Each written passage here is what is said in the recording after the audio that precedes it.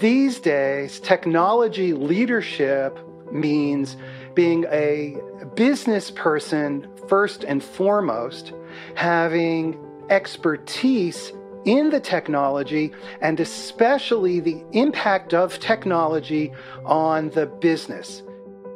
Welcome to the CIO Exchange podcast, where we talk about what's working, what's not, and what's next. I'm Yadin Porter de Leon. Today's technology environment evolves quickly, and it can be hard to keep up. Technology leaders need to understand the impact of technology on their business, but they also need to master business and communication skills. In today's episode, I speak with Michael Krigsman, industry analyst and publisher of the show CXO Talk.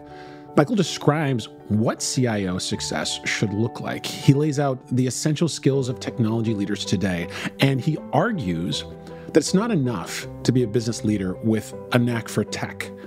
To be a great leader, you have to dive deep into all aspects of your company. Michael, a lot has changed over the years. That's to put it mildly. And while we don't want to sort of go over a lot of the well trodden topics that I think have dominated a lot of the conversation, I think there's some. Some new ones, macroeconomic, macro political, other macro trends that have really shifted the landscape. And it's changed the way that technology leaders and technology is advancing companies, is changing the way that people are making connections, companies are developing relationships where do you see the responsibility of technology leaders today versus what it's been, you know, let's say in the last five to 10 years? Where's that big shift?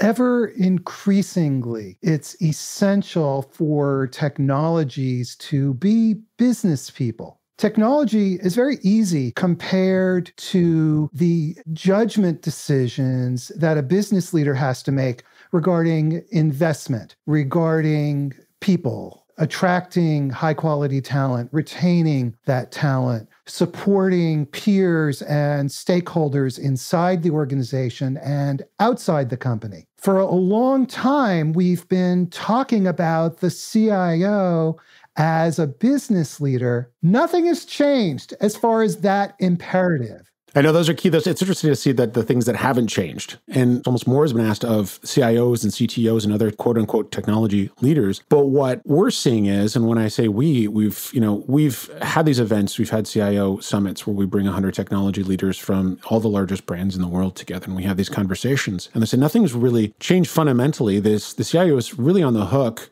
for making critical strategic business decisions. There's a divide and conquer. Yes, it's your you know, under your purview to address certain things and to be on the hook for certain things and have certain, you know, points of view and certain skill sets. But there's almost now a shared responsibility. Now the CFO, the CMO, and others who are in the executive suite are also on the hook for technology decisions and technology strategy. It's just that the CIO might be leading that more. And also, the executives and the board of directors are seeing the efficacy of technology investments things they didn't understand before they're understanding better the results of which are showing tremendous tremendous results, especially given certain supply chain constraints and constraints with regards to where people can work, when they can work there, how they can work there. As you're pointing out, Michael, the big chef may not be in the what has been the role of that CIO, that technology leader, and has been what has been the relationship shift. Do you think that's a good way to say it? Do you think it's the relationship with the, the CIO and the organization, and that's what the big shift is? Well, a lot has changed outside of IT. As you just described, the CFO is now an expert in technology. The CMO is an expert in technology. So it raises a question as to what is the rightful place of the CIO and where the CIO can add the most value. Since you have a sophisticated set of stakeholders who understand technology, it is incumbent on the CIO to identify those spots where IT can really support finance or support marketing beyond being just a service provider for technology integration say. And the only way to make that happen is for the CIO to really have a deep understanding of the finance needs and then understand and be able to figure out the intersection points. How can we in IT support those folks? How can we give them something that they can't do themselves? Because otherwise, why do they need us? Mm-hmm. Yeah, no, and I think there's a long running conversation of, you know, the CI needs to do more. The CI needs to be a business person. They need to understand all these different lines of business. And I think that's happening. I think that the the engagement, the entrenchment is is happening. They're having that deep relationship. And what I think what's shifting more in some of the conversation is that they're being invited into more conversations. They're invited earlier into those conversations and they're seeing the the capability and the, the opportunity to make the impact that you're talking about, Michael. Where am I going to make the best, most impact? Where is the business going to benefit the most from a revenue perspective, from an efficiency, from an agility perspective, from a time to market perspective, based on my input, my capabilities, and my leadership. And I'm not, you know, talking at a bits and bytes level. I'm talking at a people level of how can I direct resources that are within my organization so that I can help accomplish what you're talking about. With all the changes that we have seen, with all of the efficacy of technology that we've witnessed, what still hasn't changed? What is still in the way of the, a lot of these technology leaders when they're trying to accomplish this? Look, you need to have a well organized machine inside IT. While you are being that business partner, IT still has to execute. Password resets need to happen, tech support, the help desk. The Wi Fi has always got to stay up. You know, I always tell our CIO, they say, no one ever says anything nice to the CIO unless something goes wrong. And I will email our CIO and I'll tell her, you know what? The Wi Fi is fantastic. Thank you. Keep doing a great job which is just tongue in cheek for saying, "Hey, look, at I'm I'm appreciating you before you know something goes wrong." But you're right; those things still need to happen. You still have to keep them going. But on top of that, what else? I mean, what else are they asked to do that they maybe even not be able to do because of certain constraints? The CIO is continuously asked to innovate, be a driver of innovation, and at the same time keep costs contained, cut costs. This means the CIO needs to be thinking out of the box. For example, low code, no code tools, citizen developers is a great way to help offload IT activities into the body of users who really know what they need themselves. So, gone are the days of the CIO saying, No, you can't build technology. No, we need to turn that around and say, we want you to build technology. Now, we're going to establish the standards of security, of integration, things like that, because those are essential corporate wide, enterprise wide functions. But let's do everything in our power to make it easier for folks in the business, finance, accounting, marketing, whatever it might be, sales, to make it easier for them to get what they need from technology as quickly and as simply as possible for them. Yeah, I know. I, th- I think you bring up a good point there because self service and enablement are really a really big part of that. And I think to scale out that innovation because like you you mentioned too and, and this is something that we've talked about over and over again. It's like you keep hearing all these headlines you see the articles you see the videos you know cios need to innovate we need to innovate and uh, cios are getting a little bit tired of saying okay yes there's there's lots of different ways to innovate and there's all this expectation of innovation but it's not just on our shoulders to innovate. We have to innovate as an organization. If you want me to create a system that's just going to support the same old processes and ways of doing things as a marketing organization or as a sales organization, there's no innovation there. It's not happening. If you just want to decrease the amount of time that you can do that same, you know, manual process or or just change it from a button instead of writing it on a piece of paper, that's, you know, there's not innovation there. You have just described efficiency. Let's do the thing we're doing, only let's make it 10% faster, let's cut 10% cost. Doesn't change how we do business, but it's nice for the bean counters. But that brings up a really important point, which is the CIO today should be joined at the hip to the CFO especially if the CFO is one of this new breed of chief financial officers who's focused not just on being a bean counter, but really focused on how do we enable innovation inside the organization from a funding, from an investment standpoint. Because the most innovative CIOs recognize that this innovation piece is essential to the future of the business and definitely essential for the strength of and the vibrancy of IT and frankly their own role.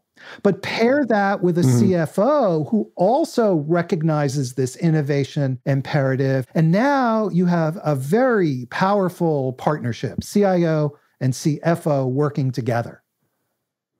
Yeah, and I think it's interesting. There's been some organizations actually the CIO rolls up into the CFO. I don't necessarily think that that's the right way to do it. I think that the relationship between those two, and because of, I think you, you brought up a really good point, because that a lot of the money that's spent are investments. If you're spending money in a new technology, whether that's a security or like security system, or the, whether it's new infrastructure, whether it's efficiency or agility or whatever you're going for, that is an investment. And some CIOs that I talk to talk about how they really see their role more as a venture capitalist of they're taking money from the co- company and they say, we're going to invest it in these projects and these projects are going to have X amount of return. And so I'm going to put money here, I'm going to put money here, and put money here. So this person really needs to be able to speak the language of finance because they need to say, this is the ROI on this. And, and I'm going to tell you, I'm going to invest in not in for next quarter or the next two quarters. I'm going to invest for the next five years. My investments are going to have five year payoff, a 10 year payoff horizon. And then they need to convince the CFO or the board of directors or whoever they're talking to, they need to be able to tell the story in a way that, that convinces them that that is the value of this investment is over the longer term. And we're not going to be short term transactional because that is then going to hinder our ability to be able to compete in the market if we're just looking for the short term gains. Other companies going to make those long term investments and then beat us, you know, three, four, five, six years out because they're not thinking long term and they've got to be able to speak in that language of the CFO and in the language of you know the technology leader as well. And if you're a CIO, that's what you should be doing but it reinforces the importance of having that partnership with the CFO so that you can balance the short term horizon that the market expects from you and the margins and so forth. Balance that against the need to make long term technology and strategic investments that will pay off for the organization. So, yeah, if you're a CIO and you're not doing this, then the question I ask is, why? What are you doing? When I'm talking to technology leaders, there's constraints put upon them. We need to, to be able to to be able to build this, or we this data center lease is running out. We need to build another data center. Either we build out a whole new one somewhere else, or we go to the cloud, or we do something different than just you know cut and paste a new data center in a new area because we've got to build another data center because this you know this one's running out. And the successful ones talk about how they do that. They tell stories they show pictures they visualize they talk in the language of the business of here is the benefit here's going to be the benefit of that longer term investment. It may not be you know don't look at it as cost savings look at it as, as you know investing in the business and here's the way that it's going to pay off. It's going to pay off in agility. We're going to be able to if we're a financial services company we're going to be able to leverage this new change in regulation to be able to bring this product to market within one quarter instead of three years. And that that then becomes that aha moment where the, the board says oh well there's a huge huge market advantage now to that. Now i'm looking at this as a market advantage investment instead of uh, a cost center, which of course has always been that duality. And you know, I know CIOs would be rolling their eyes and yeah, yeah, we're, not cost centers anymore. We have to look at ourselves as investments. But that's that's true. But there are there are real constraints. Not everyone is able to innovate and act like a venture capitalist and deploy money in that way and with their resources, but they just don't. They're not in an organization that understands it. How is this different from a business person in any other function of the company. There are constraints on every business leader. Is, is IT different in some way? No, I think that's a good I think it's a good point to bring up. Some of the conversation gets fragmented because well the CIO is over here and the CIO needs to get a seat at the table or they need to integrate more with the organization, but like you said there's just different maturities of the relationship of different leaders and different functions with the with organizations throughout time and that CIO is on their own journey of the relationship they have with the organization and the last 3 4 years has really shifted that relationship on that journey. It's accelerated the journey in some ways. how is that really different? I, I like to think about those, you know, CIOs who are listening to this and they're thinking, well, you know, yeah, why why is my role any different than any of the other C level or C suite people? I have constraints, they have constraints. What makes you know the CIO different? They have an opportunity for the investments that they make have a different impact on the business in different ways, and developing an understanding of what that is for themselves. They're keenly aware, but then communicating that to the rest of the organization. And give me a sense from your perspective, Michael, is there a way that they need to differentiate how they're articulating their investments versus, you know, another person in the C-suite? IT suffers from historical baggage. Yeah, that's that's putting it mildly. well, historically IT was viewed as this kind of alien field and we business people who don't really understand or know what the magic they do. That's history. As we discussed earlier today, everybody knows technology. If you're in, in accounting, you better know technology. If you're in marketing, technology and data are the core of what you're doing. But IT still suffers from that historical baggage. But there's two parts to that. Number one is the perception among business people of, oh, well, she's the tech person or he's the tech guy, kind of diminishing them. Well, that's all that's what they know. They're just tech. So you have that perception that does still persist in some quarters. But you also have the capability for the CIO to either be a technologist or to be able to transcend the technology and be a business leader because they're not the same. Not all CIOs are business leaders, and not all CIOs possess the skills, the communication skills, the financial finance skills, the marketing skills that are needed in order to be a genuine peer among C suite stakeholders. Does every CIO need to really do that though? And that's some of the questions too. Some feel like they're a little outside of their lane when they're really digging deep into well what does a marketing organization do and how much how much self-service you know do i give that marketing organization versus what are the real differentiating projects that i can work on that are unique to our business that would actually justify us not just grabbing something some SaaS product off the shelf. Well, can I share a hard truth? Feel free to, Michael. Yes, I would love I'd love to hear the hard truth. The hard truth is modern CIOs need to develop these skills. Think about it this way. If you're a marketer, your stock and trade is understanding all aspects. If you're a CMO, your stock and trade is understanding all aspects of marketing, whether it's demand gen, whether it's branding, whatever the case may be. If you're a CFO, your stock and trade is understanding all aspects of strategic investment and finance and accounting. And yes, of course, you have your team of folks who can dig into the details. If you're a CIO, your stock and trade is understanding the needs of your business stakeholders so that you can serve the company as a whole, not just with technology, but from a business perspective. And so the hard truth is if it's beyond your experience, and your organization is growing and is vibrant, you better learn. Yeah. Because if you don't, you will devolve into CIO irrelevancy. And that's yeah. a bad place to be. It's tough. And that doesn't service you or doesn't serve the stakeholders and doesn't serve the organization. This is like if people in marketing don't really want to know what salespeople do because they don't understand sales, that can make you absolutely irrelevant. You have to understand what your efforts do and how they connect and add value to the other parts that are directly connected to the outcomes that you produce. So, same thing. The problem is that CIO has to understand how everyone in the business, how they do their thing, how they can impact and I, I, think that's absolutely critical. One thing I want to pivot on just a little bit too in the conversation is we've talked a lot, a lot about historically, you know, how that the technology leaders have evolved, need to evolve, and, and the skills they have to attain. There's new things happening right now. There's things that technology leaders haven't faced in their careers. There's black swan events that are absolutely brand new for this generation that have just never been faced before. And we've had recessions, we've had other issues, but we're, we're heading into an economic crisis We've, you know, just had a, a, massive global health crisis. There are weather events that are becoming more severe that are affecting supply chains, that are affecting people's ability to work in central way offices, that are affecting the amount of money that executives have right now to invest in these projects. So it's uh, even more of, you know, do more with less situation.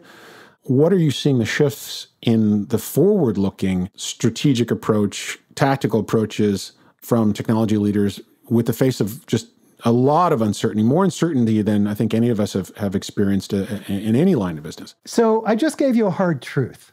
now let me share the greatness of IT, the greatness of the CIO opportunity right now. It's going to be good, I can tell.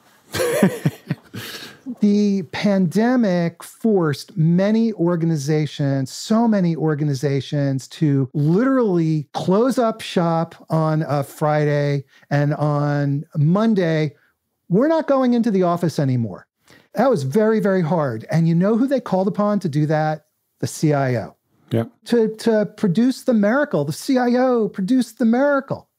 And so that raised the profile of the CIO. That made so many people that viewed, oh, you know, that's the tech lady or that's the tech guy, view these folks as the superhero. And so the wind is at their back. If you're a CIO today, the wind is at your back because your profile has been raised. So the real question is can you fill those shoes? Your profile has been raised. Are you ready to meet the challenge? And so the challenge now is sure, we're, we're in this period of great uncertainty. We don't know will we be in a recession in six months? Or is inflation coming down and the stock market is going to boom and it's going to be back to the days before the pandemic? We have no idea. Mm-hmm. And how do you plan a resilient organization for that? I guess you have to have something that can do whatever whatever needs to be done. What's the next CIO miracle? I guess is what we're asking. The next CIO miracle is actually to be having these this discussion with your peers. We're not going to individually figure this out on our own. There needs to be a consensus-driven response inside any organization. And we need to be part of that because we need the best minds in the company, the best leaders in the company to be putting our heads together and thinking this through. So the strategy for the CIO is yeah, you want to be the hero, but you have to also know when to be a team player. Be sure that you are part of these conversations because they're definitely taking place. Be part of the conversation and contribute appropriately, not as merely a technologist but as a seasoned business person who possesses the judgment and the balance and the measured thinking to explore the different scenarios and what if this and what if that.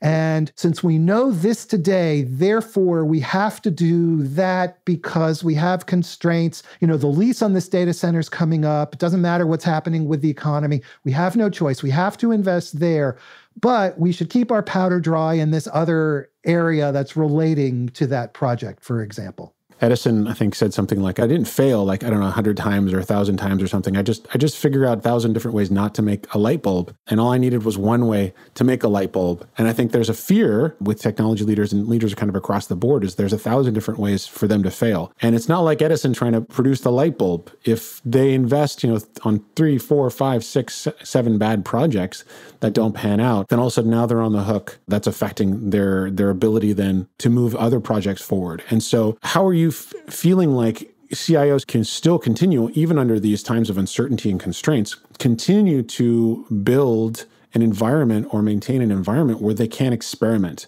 where they can do things that may not necessarily work out, but are in the best interest of the business for the long term without having the issue of credibility or uh, of future investments. Look, we are in this period of uncertainty right now.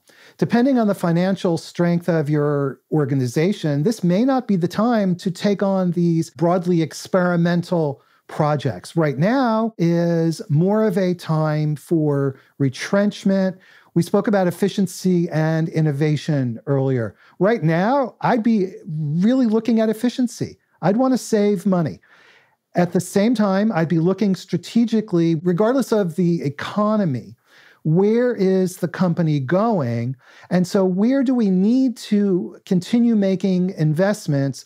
But right now, let's make incremental investments that are more modest because there is this uncertainty. We're not sure about the resources that we're going to have available to us in six months or a year. So let's take a conservative approach be efficient, but at the same time maintain full awareness that efficiency does not help us achieve our strategic or innovation goals. And so we're, we're going to keep our fingers in, in those pies as well, but in a measured way.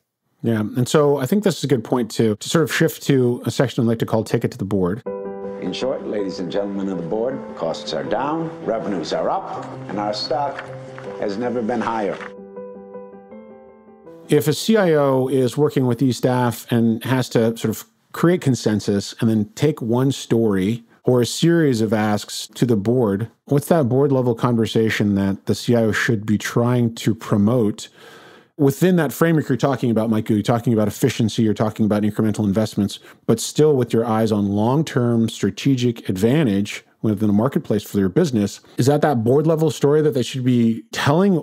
And how do you feel like that would be effective way to, to tell that, that board level story? As I have spoken extensively with board members and with folks that advise CIOs on how to work effectively with boards and how to become board members, there's a very straightforward theme that has emerged, and that is be crystal clear, be simple, be straightforward, respond to what the board is looking for, and do it in language that is not techie jargon, but that directly addresses the business concerns and the strategy concerns that the board is focused on. That's how to go about doing it.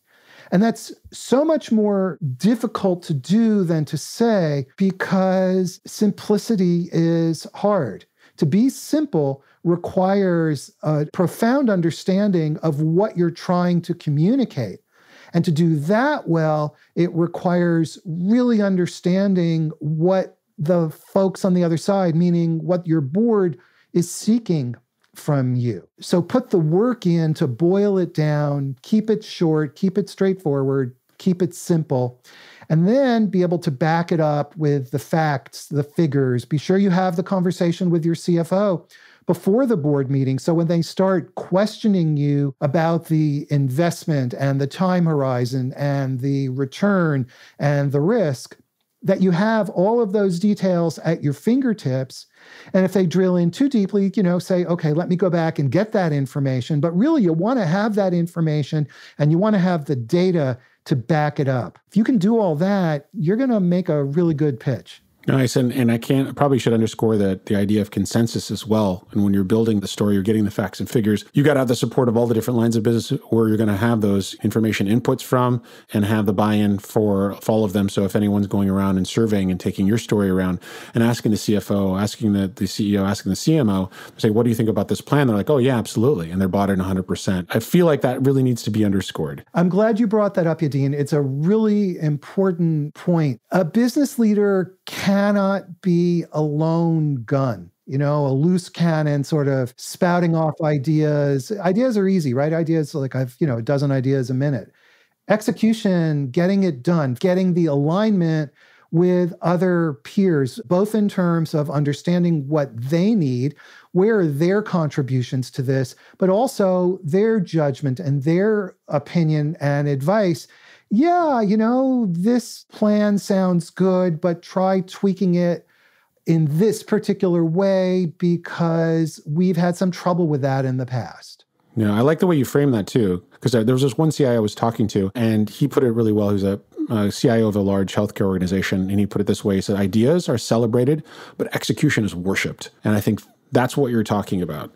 Without a doubt, you know, having the idea is great, but getting on the same page with the stakeholders so that they agree and you get the best thinking of all of the participants, of all of the stakeholders. That's another way of saying consensus. Nice. Getting the best thinking. And it means that you, as the CIO, are going to be offering the board, because that's what we were talking about. You're going to be offering the board your best thinking as a result. And you'll have tested those ideas before you speak with the board and they start asking you questions that you can't answer or pointing out gaps and holes that just will make you feel embarrassed and kind of cringe. You don't want that. So you share the idea among your your peers, you get the criticism ahead of time so that when you walk into that board meeting, it's ironclad, you know, it's bulletproof. Nice. Well, Michael, this has been a fascinating conversation, and I really appreciate you joining. Where can people find out more about you? Where can they see what you're working on? Reach out to you on social? Where can they connect with you? Well, just go to cxotalk.com. We have live shows. Go check it out. We have a podcast. Participate. Excellent. Well, Michael, I appreciate you joining the CIO Exchange podcast. Thank you, Yadin. It's just an honor to be with you. Thank you for listening to this latest episode. Please consider subscribing to the show on Apple Podcasts, Spotify, or wherever you get your podcasts. And for more insights from technology leaders as well as global research on key topics, visit vmware.com/cio.